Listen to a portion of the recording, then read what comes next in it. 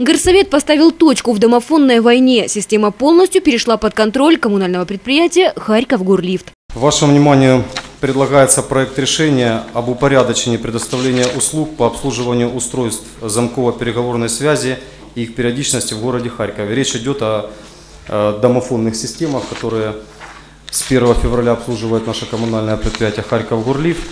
Э, В связи с тем, что данный вопрос э, с точки зрения периодичности и видов э, тех услуг, которые оказываются не отрегулирован действующим законодательством, возникла необходимость утверждения э, этих услуг. Э, Большая часть этих услуг будет оказываться ежемесячно, а остальные по мере необходимости. Не будет возражений членов исполкома против принятия данного проекта решения? Спасибо, решение принято. В департаменте поясняют, необходимость курировать данный вопрос в горсовете появилась после многочисленных жалоб от харьковчан из-за ненадлежащего обслуживания домофонов частными компаниями. В основном это заявки, которые касаются работы доводчиков, дверей, то есть это не сами домофонные устройства, это двери. А, Дальше есть заявки, когда домофонные компании отключали а, потребителей за неуплату и не работает трубка в квартире, а, связи нет с э, вызовом со стороны домофона.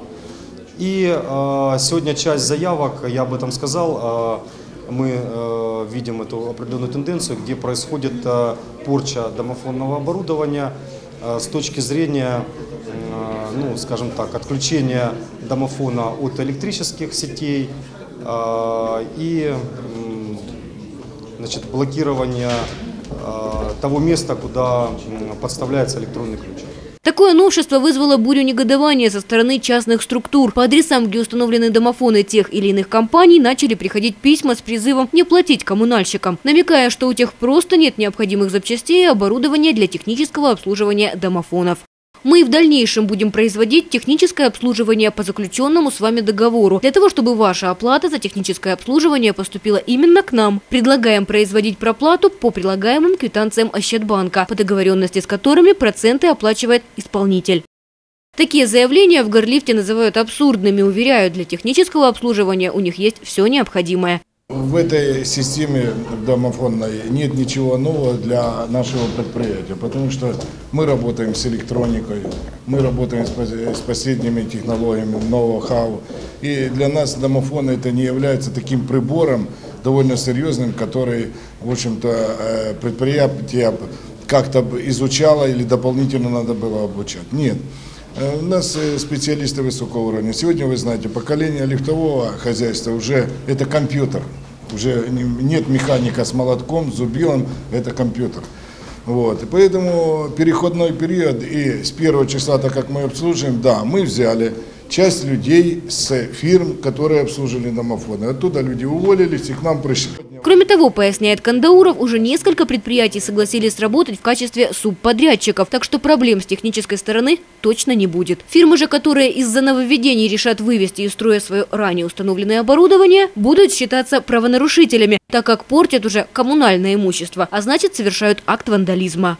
Либо это будет выглядеть, либо это кража, статья 185 э, Уголовного кодекса Украины, либо э, мелкое хищение, это 51 статья Административного кодекса, ну, либо у- умышленное уничтожение или повреждение имущества. Это все будет зависеть от того, э, ну, какие действия произвел данный человек.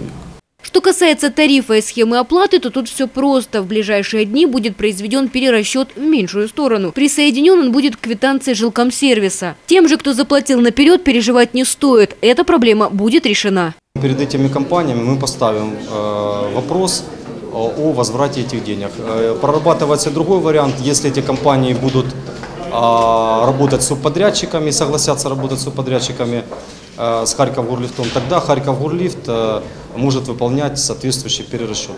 Пока этих субподрядчиков э, у Горлифта нет, соответственно, перерасчет мы пока производить не можем.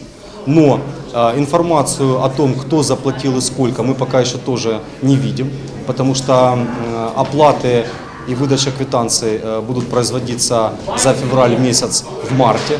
Соответственно, вот в марте месяце мы уже тогда сможем понимать картину конкретно по каждому потребителю с этими оплатами. На сегодняшний день тариф, который предполагается ввести за пользование домофонной трубкой, будет составлять 5 гривен 50 копеек. Ольга Калиниченко, Андрей Зоц, 057 UA.